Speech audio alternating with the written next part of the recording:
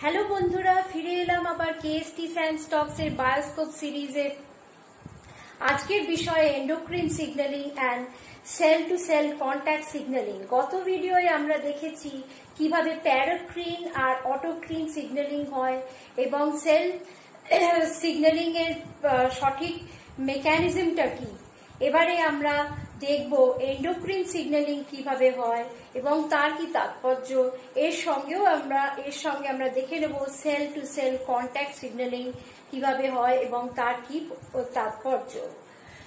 বন্ধুরা, তোমাদের যদি আমার এই ভিডিওটি ভালো লেগে থাকে, তাহলে লাইক শেয়ার এন্ড সাবস্ক্রাইব করতে ভুলো না।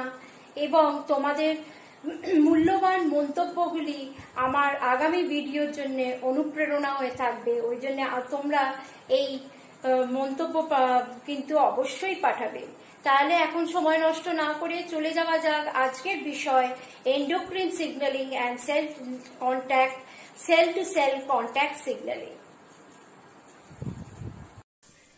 endocrine signalling এর ক্ষেত্রে যখন একটি কোষ বা সিগন্যালিং কোষ যেটি, সেটি একটি দূরবর্তী কোষ বা টার্গেট সেল যেটা তা সেখানে গিয়ে সেখানকার কোনো রিসেপ্টরে বাইন্ড করে, সেটাকে আমরা বলি এন্ডোক্রিন সিগন্যালিং যথা পিটিউটারি কোষের ক্ষেত্রে আমরা দেখি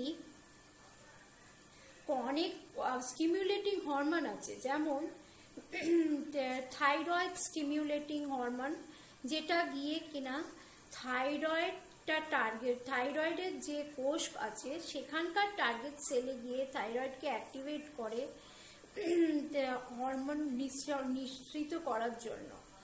কিংবা যদি ওটা গোনাডোট্রপিক স্টিমিউলেটিং হরমোন জিএসএইচ হতে পারে এফএসএইচ ফলিকল স্টিমিউলেটিং হরমোন যেগুলো গোনান্সে গিয়ে সিগন্যালটি পৌঁছে, সেখানকার টার্গেট কোষের সঙ্গে বাইন্ড করে সিগন্যাল লাইগেন রিসেপ্টর বাইন্ডিং হয় এবং সেখানে কোনো তথ্য বহন করে নিয়ে যায়, সেই ক্ষেত্রে আমরা এন্ডোক্রিন সিগন্যালিং দেখতে পাই।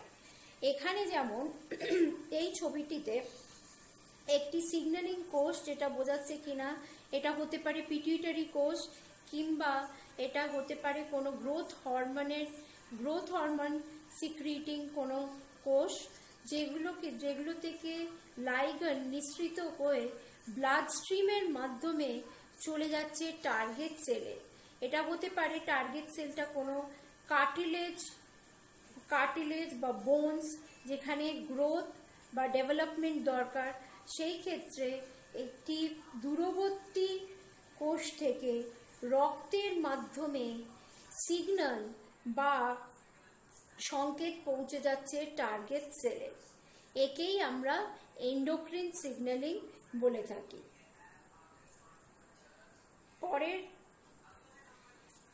এই ছবিটিতে আমরা দেখতে পাচ্ছি গ্যাপ জাংশন গ্যাপ জাংশন কীরকম ব্যাপার?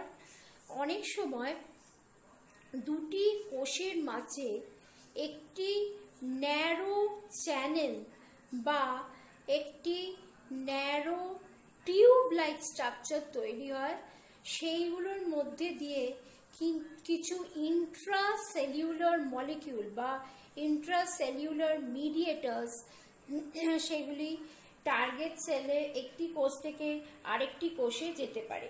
গ্যাপ জাংশন আমরা প্রাণী কোষে দেখতে পাই। অ্যানিমাল সেলের ক্ষেত্রে আমরা গ্যাপ জাংশন অ্যানিমাল সেলের ক্ষেত্রে আমরা কিন্তু গ্যাপ জাংশন দেখতে পাই।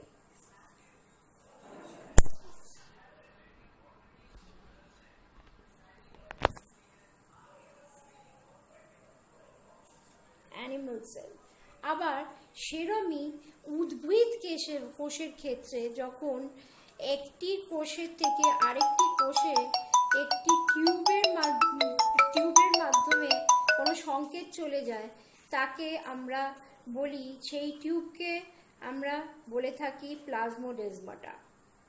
এই প্লাজমোডেজমাটা এবং গ্যাপ জাংশনের মধ্যে দিয়ে একটি কোষ থেকে আরেকটি কোষ, আবার সেই কোষটি থেকে পার্শ্ব পার্শ্ববর্তী কোষ সংকেত যাচ্ছে একটি চ্যানেল বা টিউবের মাধ্যমে।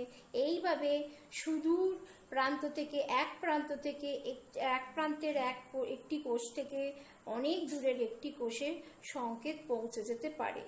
সেরমই প্লাজমোডেসবাটা আমরা উদ্ভিদের ক্ষেত্রে, প্লান্টসের ক্ষেত্রে আমরা দেখতে পাই উদ্ভিদ কোষের ক্ষেত্রে আমরা এই প্লাজমোডেজমাটা যেমন সেল ওয়ালের কোষে সেল ওয়ালের মধ্যে দিয়ে যায় এবং একটি কোষ থেকে আরেকটি কোষে সংকেত বয়ে নিয়ে যেতে পারে। এইগুলো, এই ধরনের সিগন্যালিংকে আমরা বলি cell to cell contact signalling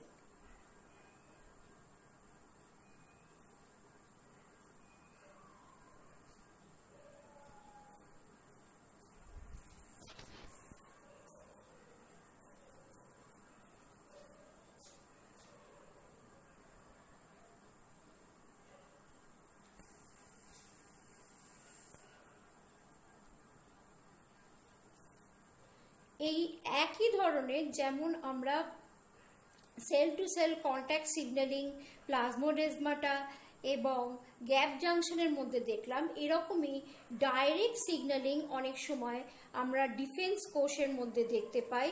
defence কোষ বলতে এটা হতে পারে ন্যাচারাল কিলার সেল তারা হচ্ছে এরকমই দুটো ডিফেন্স কোষ যখন কোনো একটা ডিফেন্স প্রোটিন যেমন কমপ্লিমেন্টারি প্রোটিন তাদের সারফেসে বা তাদের কোষের ওপর এগুলো একটি প্রোটিন দিয়ে কোটেড থাকে।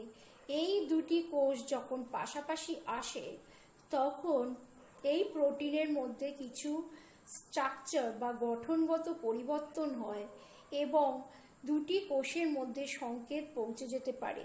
যেমন এখানে আমরা দেখছি ন্যাচারাল কিলার সেল আর একটি স্বাভাবিক কোষ।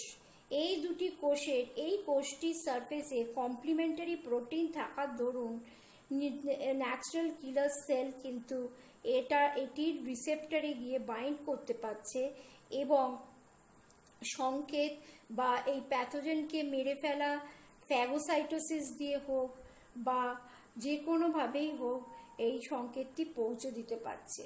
একে, এ তাহলে আমরা ডাইরেক্ট সিগন্যালিং দুভাবে দেখতে পাচ্ছি।